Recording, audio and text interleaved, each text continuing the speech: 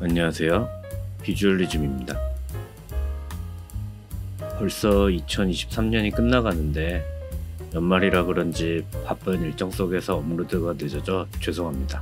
tutorial 컨텐츠 외에도 디자이너 여러분의 고민이나 걱정거리를 실무 경력자의 입장에서 제 생각을 말씀드리는 컨텐츠도 준비 중이고 Cinema 4D 온라인 강의도 오픈 예정인데 조금만 기다려 주시면 좋은 소식으로 또 찾아뵙겠습니다. 오늘은 시네마4D와 옥테인 렌더를 활용하여 움직이면서 빛의 산란을 통해 아름다운 컬러를 보여주는 물방울을 만드는 tutorial을 준비했습니다.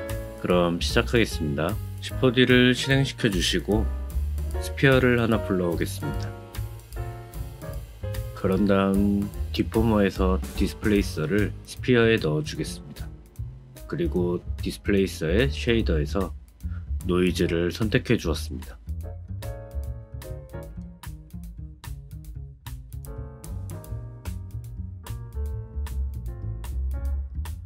또한 카메라를 불러와 배치도 해주겠습니다.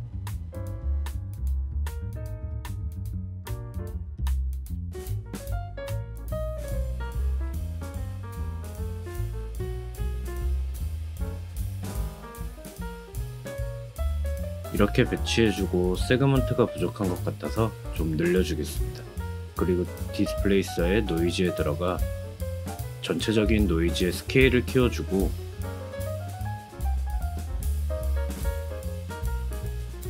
클립과 contrast를 조절하여 sphere가 노이즈를 통해 받는 변화에 대한 폭을 키워주겠습니다.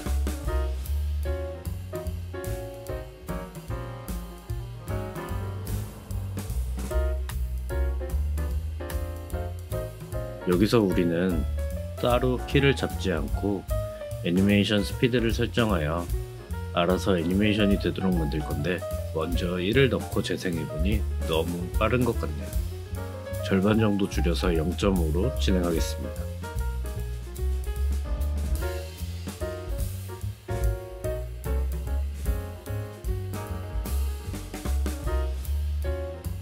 화각을 높여 다시 카메라를 배치해주고 Octane live viewer를 불러오겠습니다.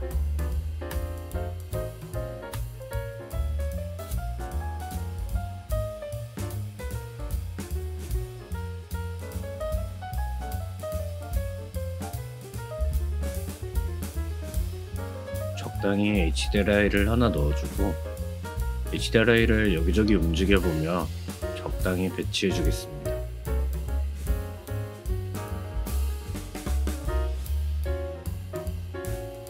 그리고 material을 불러올 건데 오늘은 composite material을 불러오겠습니다. composite material은 mix material과 비슷한데 mix material과는 다르게 따로 여러 개의 material을 만들어서 집어넣고 하는 번거로움 없이 Redshift처럼 하나의 material에서 전부 만들 수 있는 기능입니다. mix material 자체도 solo node를 보는 것이 안 되는 오류도 있고 해서 불편한 점이 많았는데 composite material을 사용하시는 걸 추천드립니다. node editor를 불러오고 material을 하나 만들어 주겠습니다. 타입을 specular로 바꿔주고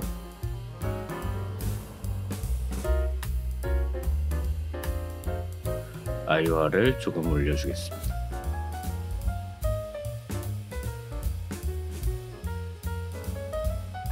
그리고 dispersion을 활성화하고 Alt를 누르면서 드래그하여 조금씩 미세하게 값을 조절해 주겠습니다.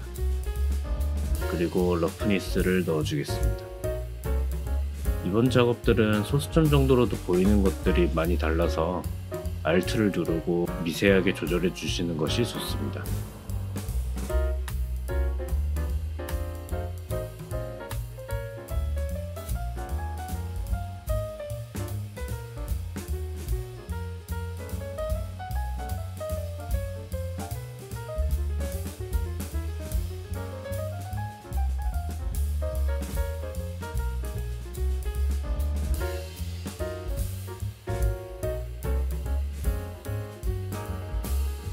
그리고 페이크 섀도우를 활성화하고 HDRI를 움직여보며 느낌을 보는데 저는 나쁘지 않은 것 같습니다.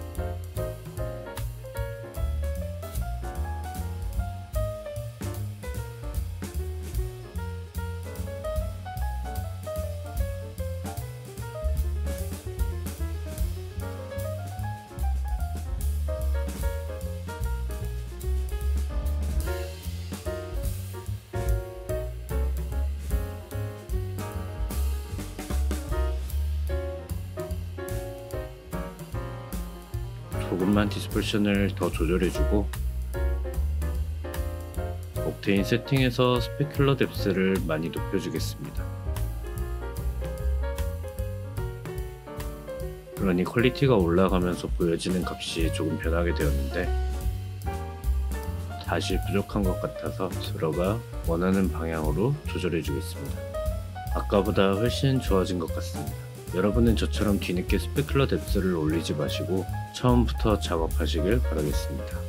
지금도 괜찮지만 제 머릿속에 있는 물방울은 뭔가 플랫한 느낌보다 빛이 엄청 산란하면서 굴절을 통해 복잡하면서도 아름다운 디자인이기 때문에 버블을 하나 더 복사해주고 스케일을 줄여주겠습니다.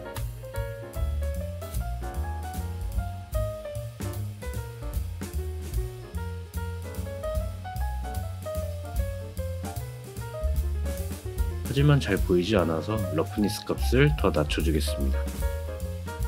그러니 뭔가 더 느낌이 좋아진 것 같네요. 그리고 스케일뿐만 아니라 displacer의 노이즈도 variation을 주겠습니다.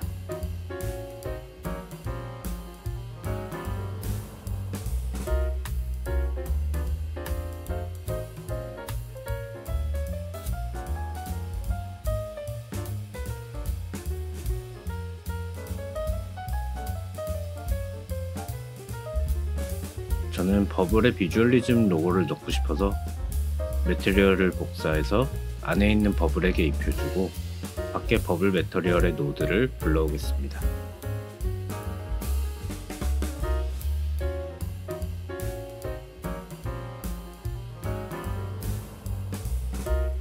그리고 매터리얼을 하나 더 추가해주고 비주얼리즘 로고 이미지를 불러오겠습니다. 그리고 로고가 들어갈 위치를 이미지로 지정해 줄 건데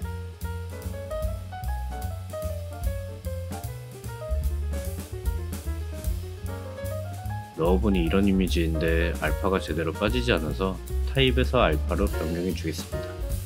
그러니 이렇게 비주얼리즘 로고가 버블을 감쌌습니다. 너무 큰 것 같아서 스케일을 조절해주고 위치도 중앙으로 오도록 바꿔주겠습니다.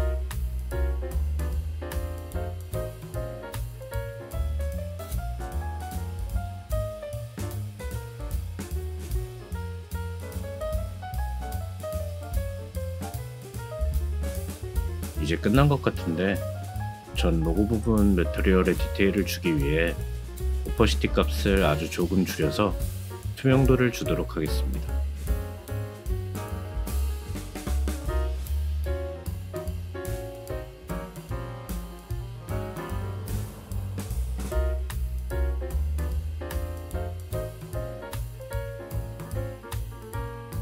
그리고 재생해보니 이렇게 제가 생각했던 것 같은 느낌으로 bubble이 만들어졌습니다. 이렇게 간단하게 Octane material을 통해 bubble을 만들어 보았는데 여러분께서도 노이즈 값이나 bubble의 dispersion 값을 바꿔보시면서 생각하시는 디자인에 다가가시길 바라겠습니다. 영상이 도움이 되셨다면 구독과 좋아요를 부탁드리겠습니다. 그럼 이것으로 영상을 마치겠습니다. 감사합니다.